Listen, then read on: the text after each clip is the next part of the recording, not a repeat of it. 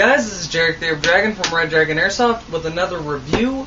Uh, first things first, yes, we've changed backgrounds. Uh, how do you guys like this background? Um, second thing, I can't turn off the autofocus, so just kind of kind of have to deal with that. I know it's kind of annoying, but it works. Um, third thing, I did have a third thing, but it's not going to my head. Anyway, so this is a review. If you can't see the uh, background on my computer, this is a review of the KJW M700. Um, the box is rather strange, honestly. It's a pretty just long, thin box. Let me open it up.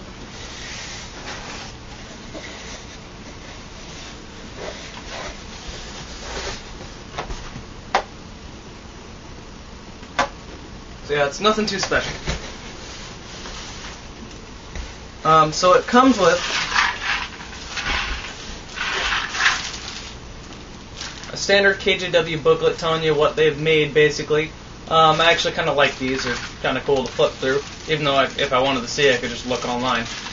Um, it also comes with another booklet telling you how to take it apart, what all parts are what, and yada yada. You shouldn't really have to look at that if you're watching this review. Um, comes with some other things, a speed loading tool to help with the uh, loading up this magazine, Phillips head screwdriver, another tool, and some BBs. Again, we don't really recommend using the BBs that comes with the gun.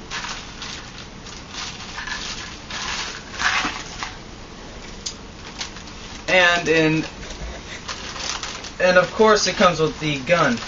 In a typical KJW fashion, it comes in a practically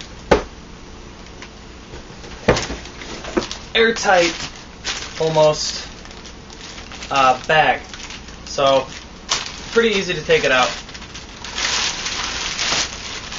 But this is good for the gun that it comes with these. It keeps it nice and clean, and overall it's better for it. So, here's the gun. Um, it's a bolt action gas gun. Now I know a lot of you have basically been, well, more or less bugging me, uh, almost to the point of harassment, to get a sniper rifle on my site. Hurry and get a sniper rifle. We want a sniper rifle. Well, one, you can stop asking now. Two, we got one right here. It's not spring, it's gas, which I actually prefer. Um, it's overall very comfortable. It's decently long, but that's expected from a gas or from a sniper rifle. Because, like I said, this is the M700, which is a sniper. And let's get on the actual review. Started the buttstock here. There's some nice rubber to it. Uh, actually, it does feel really nice on your shoulder. You'll be using that a lot. Um, the stock is very sturdy ABS plastic. It almost feels like wood. That's how sturdy it is. Um, that's pretty much the whole lower frame of it is ABS plastic. But the actual parts, as in the trigger guard, trigger, and the whole entire barrel, sights, all of this are all metal. That's full metal. Alright, so as I said, it is bolt action. Um, the bolt, again, is metal. And unlike spring bolt actions, the bolt moves pretty easily. Um, it, this is the reason for that is it doesn't actually have to pull a spring back. A spring back. You simply pull it, and the only reason it even comes back is all it's doing is pulling the hammer back, and then once you get to about here, you're loading the next BB into the chamber. So if you can see what I mean by it being pretty loose, uh, here you go.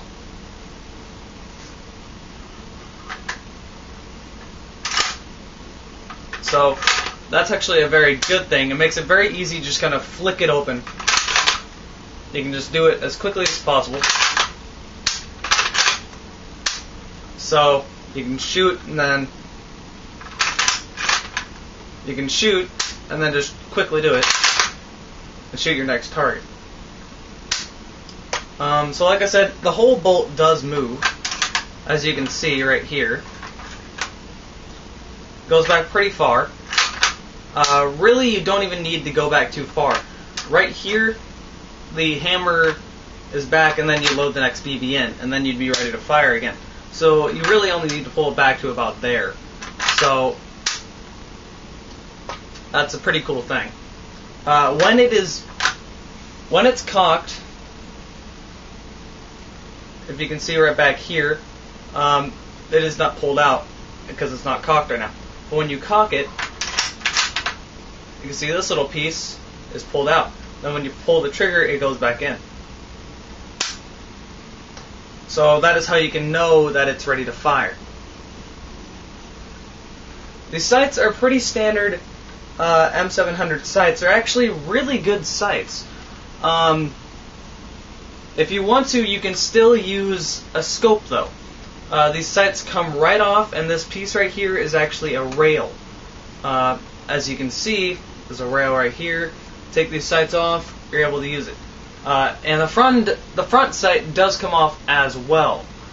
Uh, if you had a sight on there before and you tried to use it, with that front sight being on there, you would just see the front sight and it would be kind of in the way.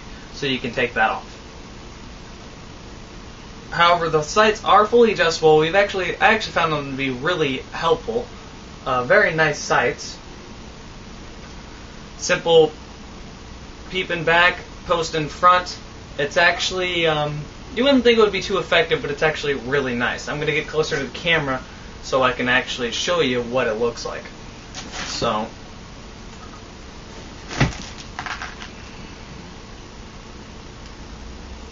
so there's a post in front, peeping back.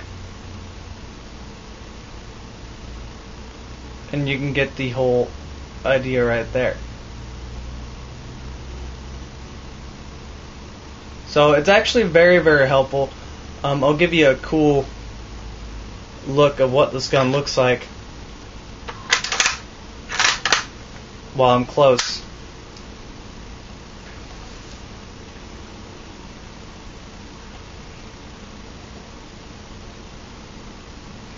So the gun is very, very long.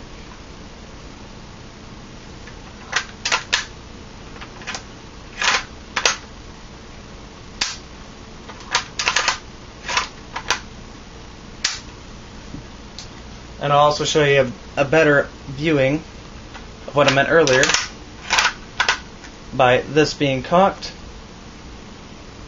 Then you pull the trigger. It's no longer there also show you the safety while I'm up closer to the gun. Uh, the safety is right here.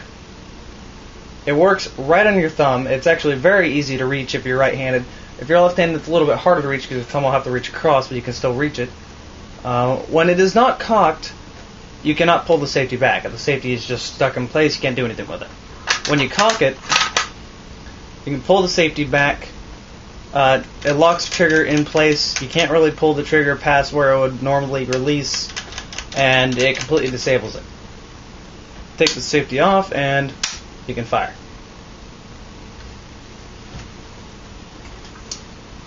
The hop up is right here. Uh, we'll get back closer to the camera again. It's this piece right here you simply can turn it. It doesn't need any tools to turn. Simply clicks in. We found it to be very nice. It doesn't need any tools, but this does have an Allen wrench hole here if you wanted to do that. You don't really need to, so yeah. But that's where the hop up is adjusted. We found the hop up to be very nice and very effective with this gun. Uh, the magazine, which the mag release is right on the trigger guard, right up here, uh, you cannot take the magazine out unless the bolt is back. Once the bolt's back, you can push up on the trigger guard right here, which is the mag release, and it comes out pretty easily. The mag itself is where the gas goes.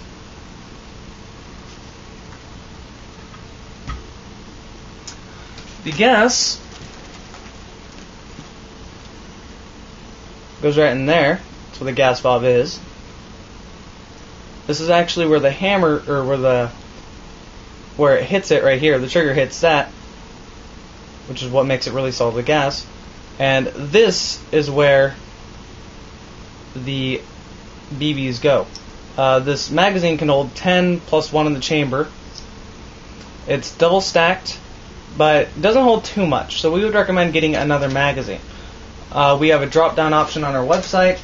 The magazines are not not too expensive, not too cheap. Um, if anything, I'd be leaning a little bit more towards decently expensive.